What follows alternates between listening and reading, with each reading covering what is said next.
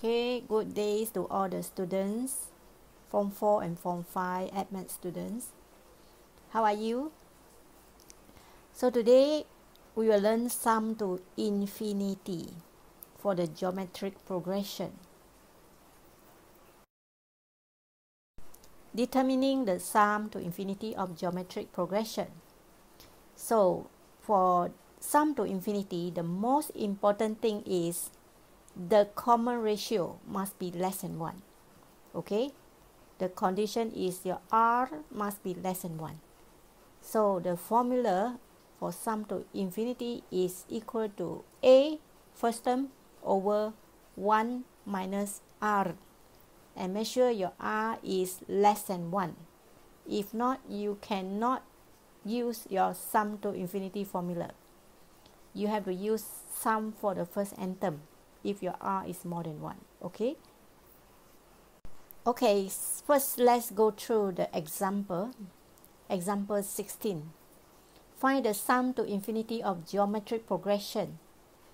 45 comma 9 comma 1.8 dot dot dot. So very simple you find your first term a equal to 45 your common ratio is 9 over 45 or 1.8 over 9 so common ratio is 1 over 5 so then you just substitute into the formula. S infinity equal to first term over 1 minus 1 over 5 so your answer is 56 1 over 4 now let's go through example 17 the sum to infinity of geometric progression is 31 1 over 2 and the sum of first two terms is 28 find the common ratio. So when you see question like this, you just apply the formula sum to infinity a over 1 minus r equal to 63 over 2. So express your a in terms of r, then label as first equation.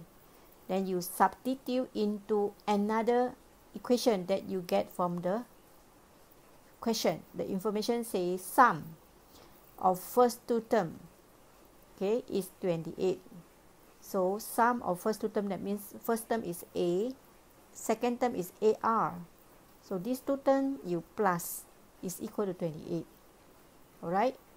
Then you write as equation number 2 then you solve your equation.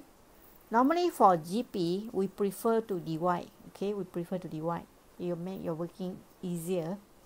So if you divide you can cancel out or eliminate the a so there is another way. You can plus and minus to eliminate unknown. You can also divide to cancel out the unknown.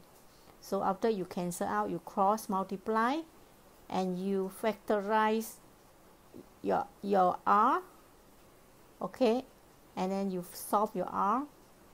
Uh, your r should have two answer because square root always produce two answer so r is 1 over 3 which is actually 1 1 over 3 is less than 1 and another one is r is negative 1 over 3 and this r also less than 1 so both are accepted. Okay? Let's discuss example 18 express the repeating decimals 0.56363 dot dot in the form of a sum to infinity of geometric progression Hence, express the number in the simplest form of fraction. Okay, repeating decimal. Please look at the mathematical pocket. Okay, the repeating decimals such as 0.56363 can be written as 0.563 with a two dot on top. One on top of 6, one on top of 3. Okay, that is another way of express recurring number or repeating number. Okay?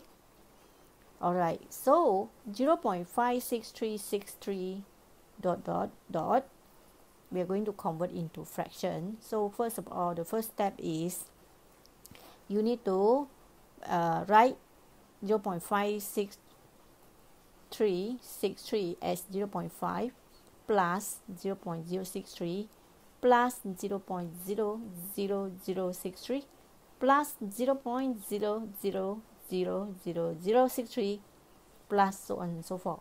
So you need to express until you can see, you can form the geometric progression with a common ratio r less than 1. Okay, so it seems like when you add all the things, you will get 0.56363. Okay, please note that 0.5 is not forming the GP. So stand alone. 0.5 is not your first term.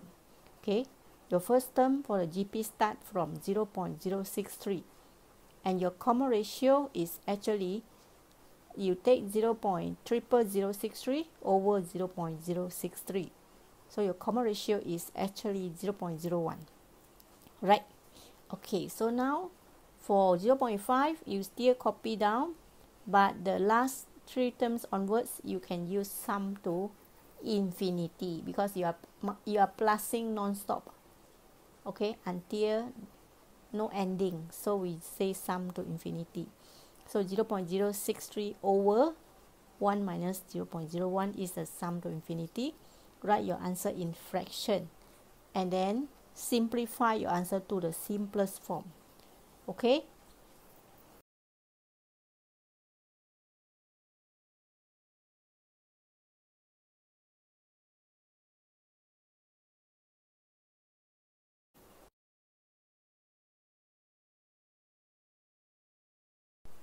Okay, today's homework is self practice 5.8.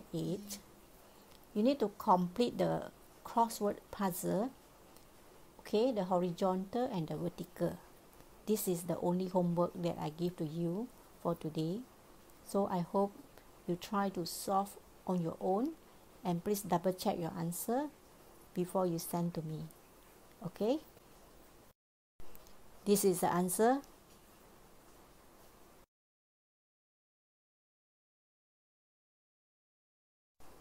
Okay, I actually prepare the answer so that you will double check. If you make careless mistake, please do correction and learn from your mistake, okay? Okay, students, remember to send your homework to my Gmail account. So, let's take a break have coffee. Bye. Thank you. Have a nice day.